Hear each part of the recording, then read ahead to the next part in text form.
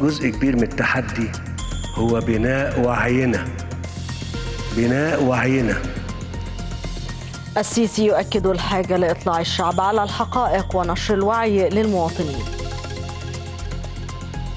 القس الأمريكي الذي أثار احتجازه أزمة دبلوماسية بين أنقرة وواشنطن يمثل أمام المحكمة في تركيا وسط ضغوط أمريكية للإفراج عنه. الفلسطينيون يستعدون للمشاركة في فعاليات جمعة انتفاضة القدس رفضا للحصار والإغلاق على الحدود الشرقية لقطاع غزة.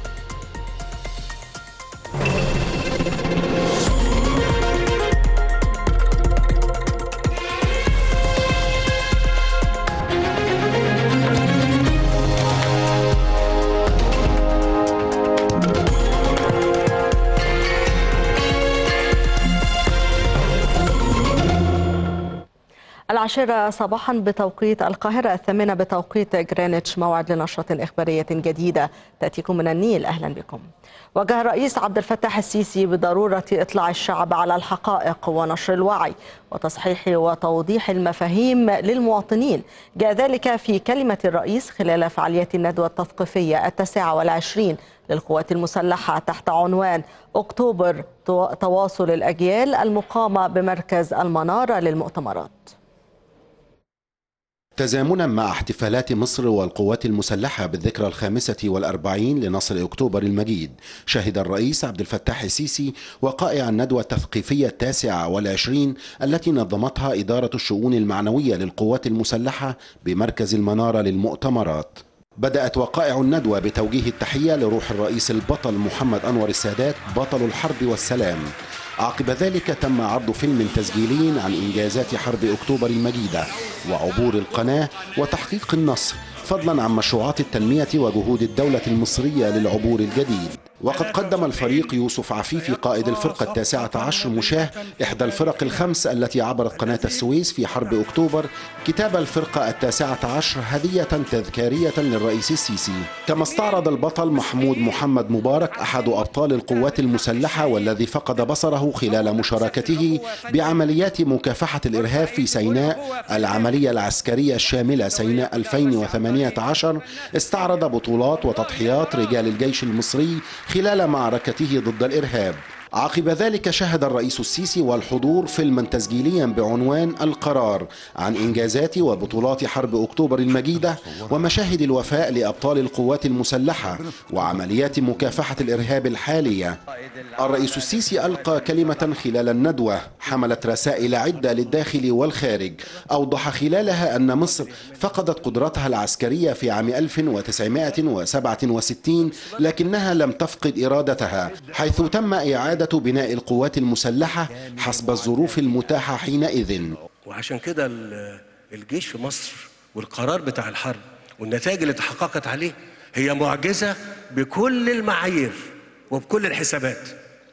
بكل المعايير وبكل الحسابات إن الجيش المصري رغم كل التحديات اللي إحنا بنتكلم عليها دي ورغم شبح الهزيمة والتجربة المريرة بتاعت 67 ياخد القرار ويخش ويقاتل.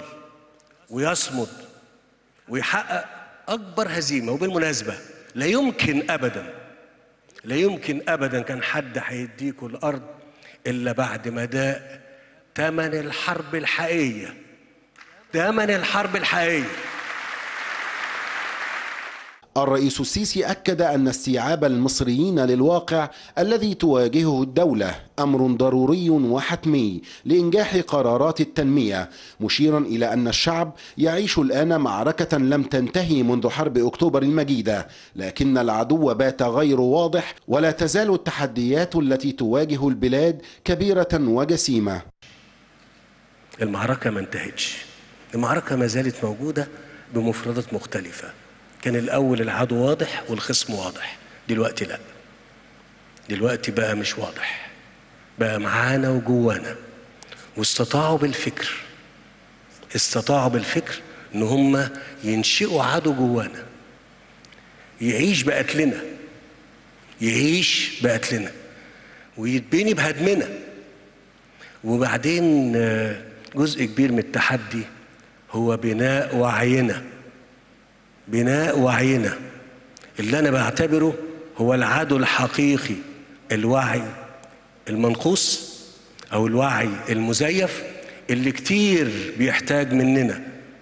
مش بس على مستوى النخب أو المفكرين والمثقفين والإعلاميين على حتى على مستوى ناس أكبر من كده إن هم إذا كانوا مهتمين بحفظ البلد دي. وحمايتها إن هم يدركوا الصورة الكلية للواقع اللي إحنا فيه. وحذر الرئيس السيسي من خطر الزيادة السكانية التي تمثل تحد كبير أمام الدولة المصرية. وقد كرم الرئيس السيسي عددا من النماذج المشرفة وأبطال حرب أكتوبر جنبا إلى جنب مع أبطال العملية العسكرية الشاملة سيناء 2018 كان من بينهم اسم اللواء أركان حرب باقي زكي يوسف صاحب فكرة هدم خط بارليف باستخدام المياه. وقد استكملت الندوة التثقيفية فعالياتها بفقرة فنية غنائية. قدمها كورال أطفال وشباب أكاديمية الحلم وعدد من الفنانين. علاء رشوان.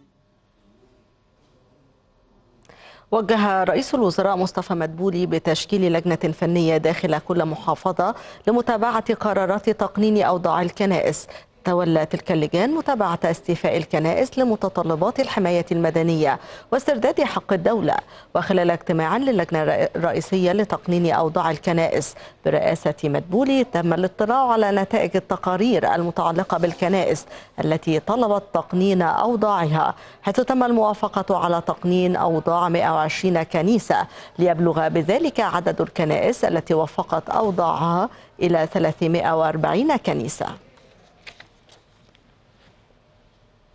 تعرض وزيرة الاستثمار سحر نصر اليوم خلال اجتماعات صندوق النقد والبنك الدوليين السنوية في بالي إنجازات مصر في مجال التنمية وذلك خلال مشاركتها بجلسة عن أهداف التنمية المستدامة بحضور أنطونيو غوتيريش أمين عام الأمم المتحدة. من المنتظر أن تقوم وزيرة الاستثمار بوصفها رئيسة للتجمع الإفريقي لعام 2018 بعرض ما قامت به مصر خلال العام الجاري لتعزيز المصالح وأولويات التنمية الإفريقية وجعلها أقرب أكثر من أي وقت إلى أولويات البنك الدولي. كما تقوم بتسليم رئاسة التجمع الإفريقي للعام المقبل إلى غانا. من المقرر أن تشارك مصر أيضا في الاجتماع الوزاري الذي سيعقده رئيس البنك الدولي حول دعم التغيرات المناخية. أعلنت وزيرة الصحة هالة زايد أن عدد المترددين على مراكز إجراء المسح الصحي لفيروس سي والأمراض غير السارية في محافظات المرحلة الأولى التسعة بلغ مليوني مواطن خلال عشرة أيام. النهارده بنعلن آه، وصول اليوم العاشر من الحملة ل 2 مليون 75256 مواطن تم الكشف عليهم. في فيروس سي والأمراض غير السارية السكر والضغط والسمنة. بمعدل 76% من المستهدف مشاركة الاناث 57% مقابل 43% ذكور.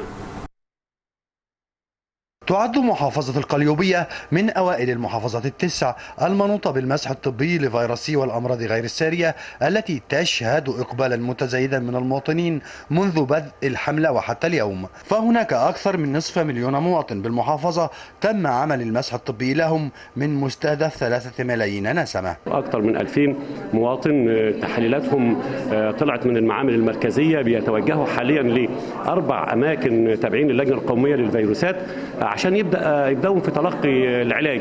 آه، عندنا المرضى الأمراض غير السارية بيتحولوا إلى تسع مستشفيات عندنا في محافظة القليوبية من مراكز تقديم الخدمة ال 250 مكان دولت. بيطلع منهم المرضى آه، إلى تسع مستشفيات إحالة لإعادة الفحوصات وإعادة الكشوفات لمرضى الضغط والسكر والسمنة وتلقي العلاج مباشرة. الدعم اللوجستي موجود من الوزارة والمديرية متوفر كل حاجة. الكواشف بتاع الفيروس سي متوفرة. شرايط السكر وأجهزتها وبطارياتها متوفرة. مستلزمات مكافحة العدوى من الجوانتيات واللزقات الطبية والمساحات الكحوليه وكله متوفر. عملية المسح تخضع لإشراف طبي وفقا لمعايير الجودة العالمية من خلال توافر المستلزمات الطبية أو الكوادر المؤهلة لعملية المسح الطبي بالمراكز الصحية. كافة. قمنا بتجهيز الأماكن الخاصة بالحملة هنا في الوحدة وقمنا بتدريب جميع الطاقم اللي موجود في الوحدة من أطباء وتمريض وكتبة ومدخلي بيانات. وبدأنا نعرف الناس ونشغل ونبعت الرائدات الموجودين في المكان يعرفوا الناس آه، في البلد إن في حملة تبدأ 1 أكتوبر. كارت بيطلع مع المريض ياخدوا كل بياناته إذا كان إيجابي بيتحول الجهاز بيطلعه لي إذا كان المستشفى اللي اتحول فيها بالمواعيد وبالتاريخ وبكل حاجة تبعه وإذا كان سلبي بيتختم معاه ويتفضل يبقى حاجة رسمية من الحكومة إن هو سلبي فيروس سي. في infection control طبعا في gloves بيتغير لكل حالة في ال baskets كل basket بيترمي فيها الحاجة الكاشف بيترمي في حاجة والقطنة اللي فيها دم بتترمي في حاجة. كل المعايير موجودة. إقبال واستحسان من قبل المواطنين لما يقدم لهم من خدمات صحية على مدار الساعة. بلد صغيرة بلد كبيرة كل الناس يعني الحمد لله استجابت و... وبتدعي للرئيس طبعا على اللي هو بيعمله. أنا جيت حللت هنا وفي نظام وكل حاجة جيت دخلت وخدوا البيانات بتاعتي. وبعد كده قمت جاي مستنى بره مفيش 3 4 دقايق وادوني الكارت وجيت حللت والنتيجة بقت الحمد لله تمام.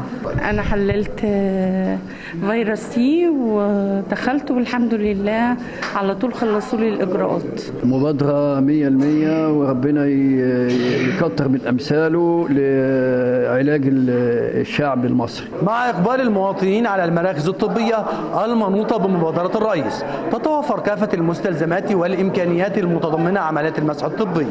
وفق خطة ممنهجة أعدتها وزارة الصحة لتحقيق الهدف المنشود بخلو مصر من فيروس سي. محمد حلمي النيل. التقى فضيلة الإمام الأكبر الدكتور أحمد الطيب شيخ الأزهر الشريف رئيس مجلس حكماء المسلمين. نعمة الله يلداشيف رئيس مجلس الشيوخ الأوزبكستاني بمقر البرلمان الأوزبكي في العاصمة تاشكند كما التقى شيخ الأزهر الشريف رئيس جمهورية أوزبكستان شوكت ميرزيايف تلبية لدعوته. وأعرب شيخ الأزهر خلال اللقاء بقصر الرئاسة في العاصمة تاشكند عن شكره وتقديره للدعوة الكريمة التي وجهها إليه ميرزيايف لزيارة أوزبكستان. بدوره أشار رئيس أوزبكستان إلى أن شيخ الأزهر يمثل رمزية كبرى في العالم الإسلامي ويقوم بدور بالغ الأهمية في تصحيح المفاهيم المغلوطة عن الإسلام. هي المحطة الأولى في زيارة الإمام الأكبر لجمهورية أوزبكستان وإحدى أهم المؤسسات العلمية والدينية أكاديمية أوزبكستان الإسلامية الدولية. وعقب جولة للتعرف على أنشطة الأكاديمية بدأت جلسة لبحث أوجه التعاون المشترك. تم الاتفاق فيها على تخصيص ما بين عشرة إلى عشرين منحة للطلاب إلى جانب استكمال الدراسات العليا بجامعة الأزهر وتدريب الأئمة. المجال الثاني الذي يمكن أن يساعد فيه الأزهر هو تدريب الأئمة.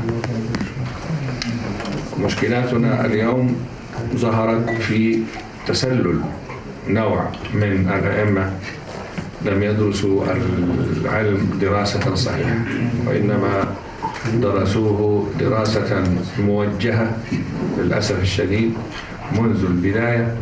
ومرتبطة بأجندات يعاني منها المسلمون الآن شرقا وغربا.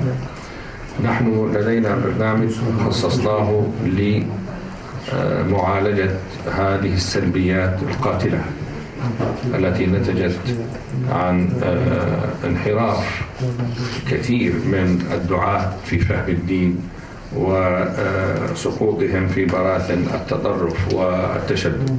تأهيل الآئمة وتعليم الطلاب كانت بداية لتعاون مثمر يجمع الأزهر الشريف والأكاديمية الإسلامية وتأتي زيارة الإمام الأكبر لتدشين مرحلة جديدة في نشر الفكر الوسطي فرحانين جدا بزيارة فضيلة الإمام الأكبر لأوزبكستان وإلى أكاديميتنا الإسلامية والأهمية كبيرة جدا لأن الأزهر نحن نعرف دور كبير في الحضارة الإسلامية والعلم الإسلامي ونحن نعمل نود أن نطور علاقتنا مع جامعة الأزهر مجمع الأزهر في جميع المجالات التعاون وخاصة في تعليم وتبادل الخبراء تبادل الأساتذة وتبادل الطلاب.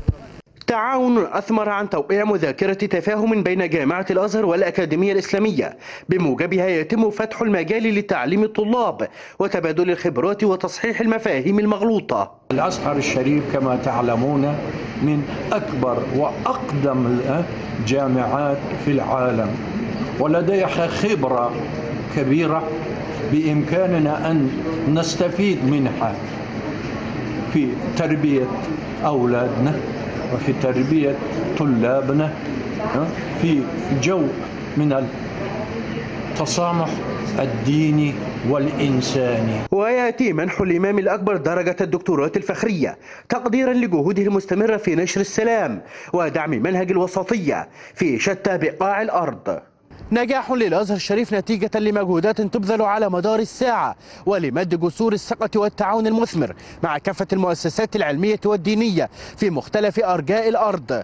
تكريم مستحق لفضيلة الإمام الأكبر شيخ الأزهر الشريف نتيجة لجهود حقيقية لإحلال السلام العالمي في شتى ربوع العالم. من أوزبكستان حماد العربي التلفزيون المصري.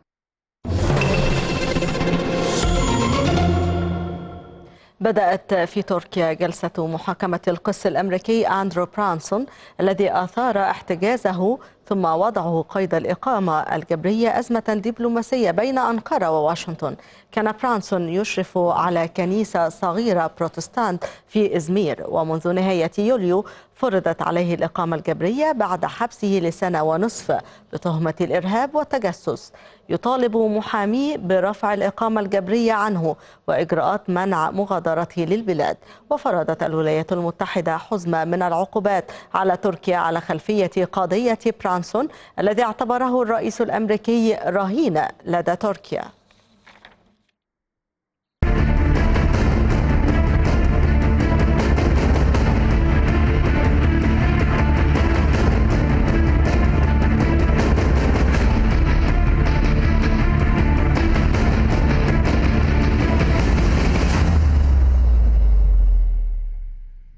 يستعد الفلسطينيون اليوم للمشاركة في فعاليات جمعة انتفاضة القدس رفضا للحصار والإغلاق على الحدود الشرقية لقطاع غزة. ودعت الهيئة الوطنية لمخيمات مسيرة العودة وكسر الحصار الجماهير الفلسطينية للمشاركة في فعاليات مسيرات العودة التي ستنطلق اليوم في مخيمات العودة على الحدود. كانت وزارة الصحة في قطاع غزة قد أعلنت أن إجمالي عدد الشهداء الذين سقطوا جراء اعتداء قوات الاحتلال على المشاركين في مسيرات العودة. بلغ 198 شهيدا بينهم 37 طفلا. وأوضحت الوزارة أن عدد الجرحى وصل إلى 22267 جريحا. لمزيد من المتابعة ينضم إلينا عبر الهاتف من غزة دكتور مخيمر أبو سعدة أستاذ العلوم السياسية بجامعة الأزهر. دكتور مخيمر توقعات حضرتك لنتائج فعاليات جمعة انتفاضة القدس والتي يستعد الفلسطينيون للمشاركة فيها رفضا للحصار والإغلاق على الحدود الشرقية لقطاع غزة. يعني كما تعرفون هناك مسيرات فلسطينية بدأت في الثلاثين من شهر مارس الماضي قبل ستة أشهر. هذه المسيرات تحتج على الحصار الإسرائيلي الظالم الذي يخنق 2 مليون فلسطيني في قطاع غزة وأدى إلى مستويات غير مسبوقة من الفقر والبطالة ونقص الكهرباء ونقص مياه الشرب وحتى تدهور الأوضاع الصحية. وبعتقد بأن هناك إصرار من جانب الفصائل الفلسطينية وخاصة من جانب حركة حماس على دفع مزيد من الفلسطينيين هذا اليوم للمشاركة في مسيرات العودة وكسر الحصار. وخاصة بعد الإشاعات التي تتردد في قطاع غزة بأن حماس سوف تخفف من الضغط على الحدود الشرقية بعد قيام قطر بشراء الوقود لمحطة الكهرباء في قطاع غزة. وهناك كذلك خطة لدفع 150 مليون دولار قطري من أجل دفع رواتب موظفي حماس في قطاع غزة. وبالتالي هذه الشائعات تتردد بأن هذا المال القطري من الممكن أن يؤدي إلى تخفيف حدة المواجهات. بين الفلسطينيين والاحتلال الإسرائيلي على الحدود الشرقية لقطاع غزة. نعم شكرا دكتور مخيمر أبو سعده أستاذ العلوم السياسية بجامعة الأزهر كان معنا من غزة عبر الهاتف. أعربت وكالة الأمم المتحدة للغوث وتشغيل اللاجئين الفلسطينيين أونروا عن قلقها بشأن خطة إسرائيلية لإغلاق عملياتها في القدس الشرقية المحتلة. وقال المتحدث باسم الأونروا في القدس سامي مشعشع إن الوكالة ستواصل تقديم خدماتها للفلسطينيين في المدينة المقدسة. على وقع الانتهاكات المستمرة لسلطات الاحتلال الإسرائيلي عبرت وكالة الأمم المتحدة لإغاثة وتشغيل اللاجئين الفلسطينيين أونروا عن قلقها بشأن خطة لرئيس بلدية القدس المحتلة تشير إلى إغلاق عملياتها في المدينة. والأسبوع الماضي قال رئيس بلدية القدس المحتلة إنه وضع خطة لإنهاء عمليات أونروا في المدينة المقدسة واستبدالها بخدمات إسرائيلية تقدمها البلدية المحلية. المتحدث باسم الأونروا في القدس المحتلة قال إن المنظمة ستواصل عملها وأكد أن دور الأونروا أساسي للفلسطينيين في القدس المحتلة. كونهم يدفعون ضرائب ولكنهم لا يحصلون إلا على نزر يسير من الخدمات من بلدية الاحتلال. يدفعون ضرائب ولكنهم يحصلون على نزر يسير من الخدمات. وبالتالي دور الوكالة هنا أساسي لأنهم يحتاجون هذه الخدمات في غياب الخدمات المتكاملة من من من البلدية. وبالتالي بالرغم من الأزمة المالية الوكالة تريد أن تبعث برسالتين مهمتين فيما يتعلق بوجودها في القدس. أولا استمروا في بعث أبنائكم إلى مدارس الوكالة استمروا في الاستفادة من خدمات الوكالة الصحية والإغاثية. والجانب الآخر أنه بسبب الأزمة المالية بعض من خدماتنا تهالكت. مدارسنا بحاجة إلى صيانة عياداتنا وبعض الخدمات الأخرى. وبالتالي على المجتمع الدولي أن يتقدم ويدعم من وجود الوكالة في القدس. أيضا رفض لاجئون فلسطينيون في القدس الشرقية يتلقون مساعدات من الأونروا. رفضوا تصريحات رئيس بلدية الاحتلال بشأن استبدال خدمات الوكالة بخدمات البلدية. أنا حابب الأونروا أحسن من البلدية لأن البلدية ما تشتغلش حتى بشقفات فيش محسوم فيش وفي وباخذوا أرنونة ومي وبيشتغلوش اللازم على على الشقفات وبيت حنينة.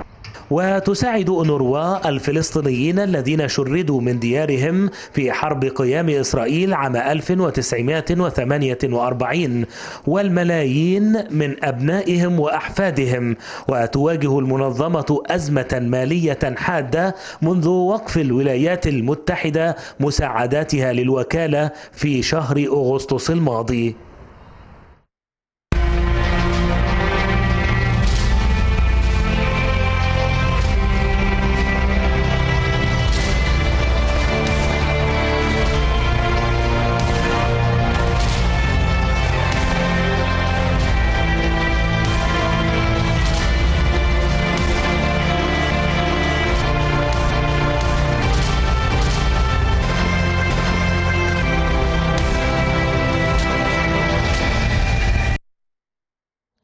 أفاد دبلوماسيون في الأمم المتحدة بأن روسيا طلبت من القوى الغربية إخراج عناصر الخوذ البيضاء من سوريا. وقال مندوب روسيا في اجتماع مغلق لمجلس الأمن الدولي دعت إليه موسكو إن وجود الخوذ البيضاء في سوريا هو مصدر تهديد إلا أن واشنطن وباريس ولندن ردت بأن تلك الاتهامات خاطئة. ولا تعتبر روسيا أن عناصر الخوذ البيضاء في مناطق المعارضة يعملون بصفاتهم مسعفين. وقد وجهت إليهم مرارا في السابق اتهامات بالارتباط بجماعات إرهابية وافق مجلس الأمن الدولي على تمديد أخير لمهمة بعثة حفظ السلام في منطقة أبي المتنازع عليها بين السودان وجنوب السودان لمدة ستة أشهر. قرر المجلس تحذيرا سابقا من أن الوضع في أبي لا يزال يمثل تهديدا خطيرا على الأمن الدولي ودعا البلدين إلى إحراز تقدم ملموس حول ترسيم الحدود والمراقبة وسواها من القضايا المهمة. كانت السودان وجنوب السودان قد اتفقتا منذ سنوات على اتخاذ خطوات لإقامة هيكل إداري لهذه المنطقة ولكن مجلس الأمن عندما جدد مهمة البعث في مايو الماضي أعرب عن خيبة أمل لتعثر إتمام إقامة الهيكل الإداري بتلك المنطقة. أعلنت الخارجية الروسية عن احتمال عقد لقاء بين الرئيسين الأمريكي دونالد ترامب والروسي فلاديمير بوتين في الحادي عشر من نوفمبر القادم في باريس. وأوضحت الخارجية الروسية أن موسكو منفتحة للنقاش مع واشنطن في مجمل القضايا الثنائية بين البلدين وأشارت إلى أن روسيا مستعدة للنظر في مكان وزمان تنظيم اللقاء حال مشاركة الرئيسين في الاحتفال بالذكرى المئوية لإنهاء الحرب العالمية الأولى.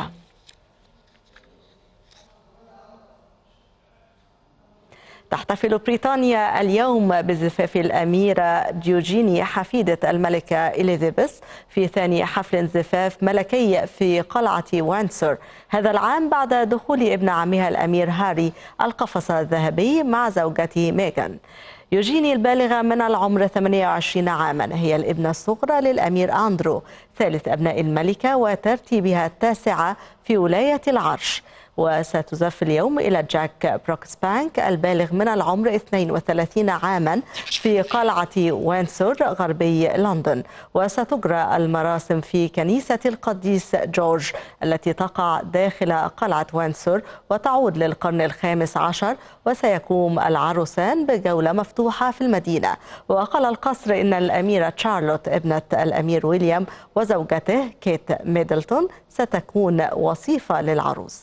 وهذه لقطات حية من هناك.